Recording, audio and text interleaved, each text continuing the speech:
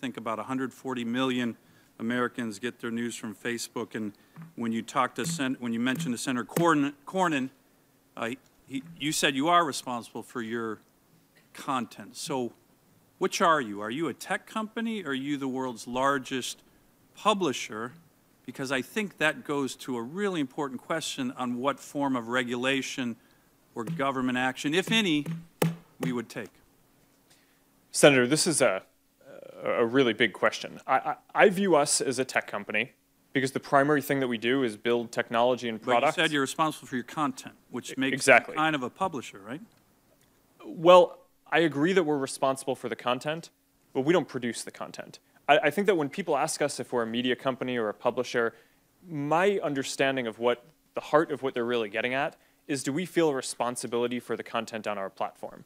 The answer to that, I think, is clearly yes. And, but I don't think that that's incompatible with fundamentally at, at our core being a technology company where the main thing that we do is have engineers and build products. Thank Thank you, you, Senator Sullivan.